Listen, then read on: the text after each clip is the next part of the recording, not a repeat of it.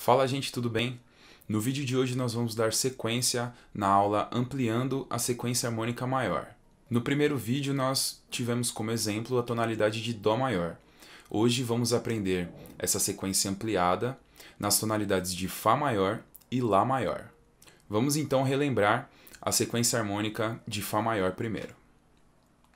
Então o primeiro acorde é o Fá maior, depois é o Ré com sétima, depois o Sol menor e depois o Dó com sétima. Assim como já foi falado no vídeo anterior, para ajudar a gente a memorizar, nós podemos dividir essa sequência ampliada né, em três partes. A primeira e a terceira parte vão ser justamente a sequência harmônica que nós já conhecemos. A novidade vai estar na segunda parte. Vamos então a ela. Então temos o Fá maior, Fá com sétima, Si bemol maior e Si bemol menor. Agora vamos tocar as três partes juntas.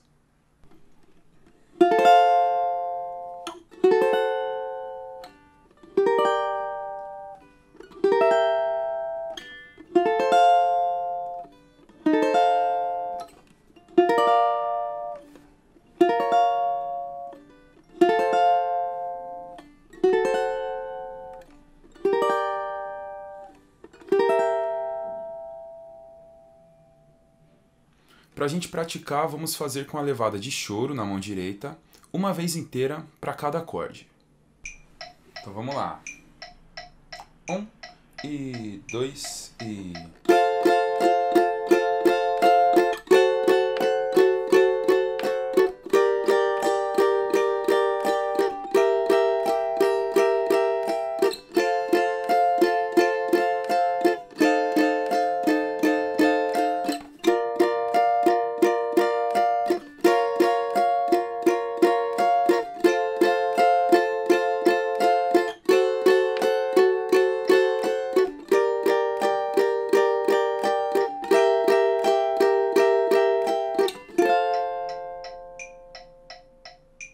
Para ajudar a memorizar, você pode fazer separadamente só a segunda parte. E aí pratica bastante para deixar ela bem fixa e aí depois pratica com a sequência completa. Agora vamos para a tonalidade de Lá maior. Vamos relembrar os acordes que compõem a sequência de Lá maior. É o Lá maior, Fá sustenido com sétima, Si menor e Mi com sétima.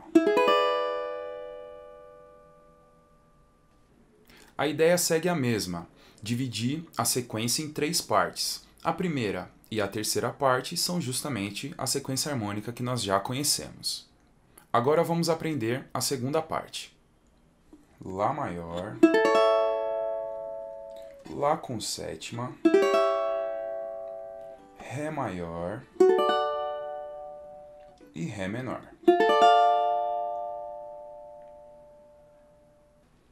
Tocando as três partes juntas ficaria assim.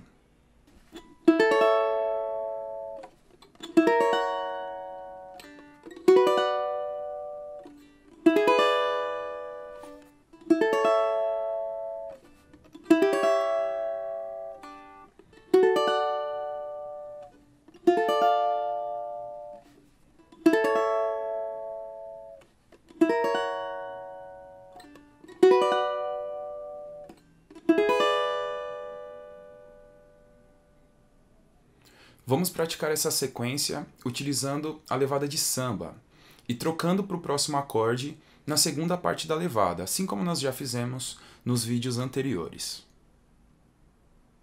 Então vamos lá. Um e dois e.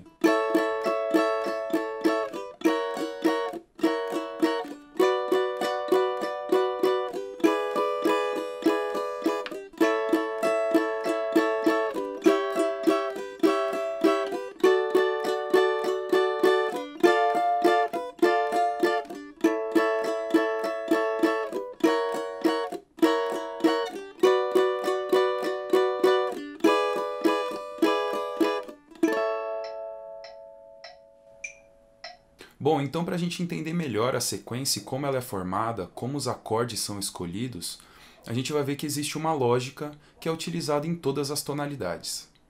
Bom, nós ainda não falamos de campo harmônico nem de funções harmônicas, então nós vamos aprender de uma maneira que vai ajudar a gente a memorizar e vai facilitar na hora de localizar esses acordes que ampliam a sequência harmônica. A segunda parte da sequência é formada por quatro acordes. O primeiro vai ser o mesmo acorde que começa a sequência, ou seja, a tonalidade dessa sequência, como vemos aqui no exemplo de Dó maior.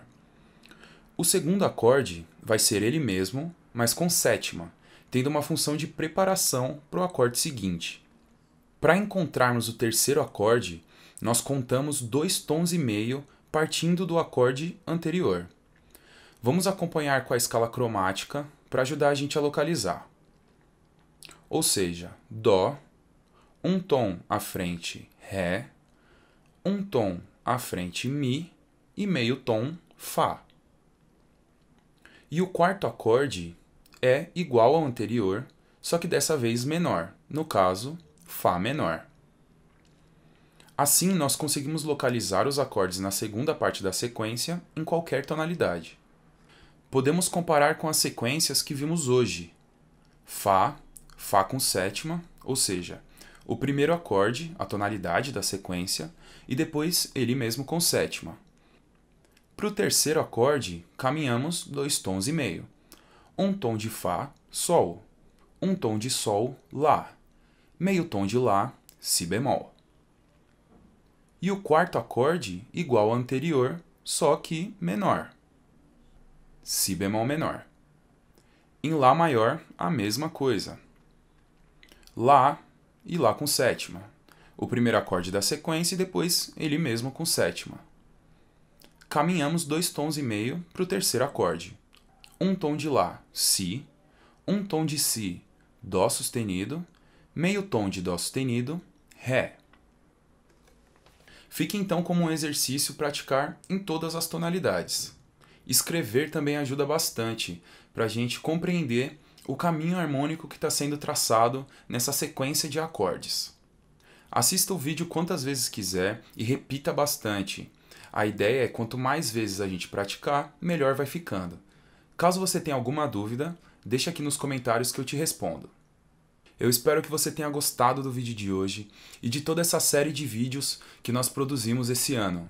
Foi um ano bem complicado para todo mundo e essa foi a maneira que nós encontramos de continuar estudando música mesmo à distância.